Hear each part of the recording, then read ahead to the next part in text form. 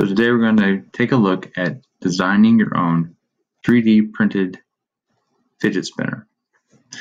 Uh, to do that, we're going to use a program called SketchUp. Now, mine's already in my taskbar down here, but if you don't have it in yours, simply use the search feature in Windows 10 and type sketch, S-K-E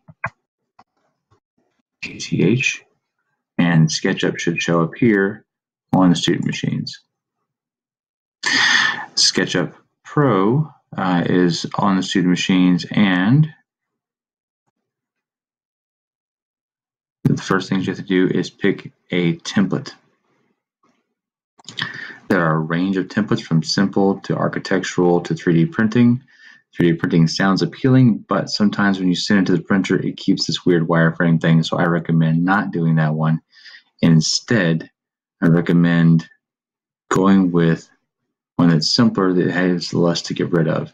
I happen to like the architectural design one and notice there are three different sets for measurements for scale, feet and inches, meters, and then millimeters. Today we're going to use the millimeters because a fidget spinner is kind of a small thing. All right, so click there and click Start using SketchUp.